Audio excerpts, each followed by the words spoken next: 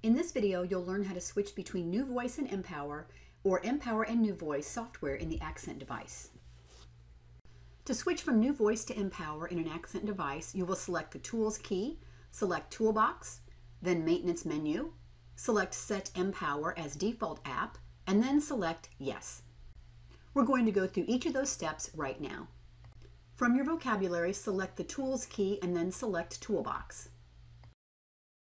From here, select Maintenance menu and select Empower as default app.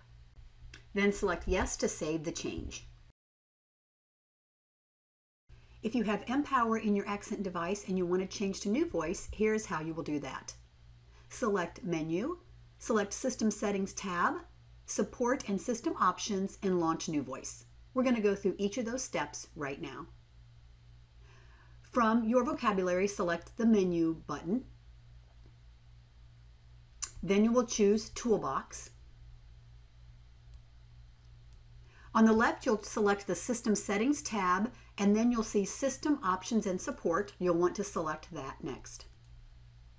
From here, you'll see Switch to NuVoice, and you'll select Launch NuVoice, and then follow the prompts.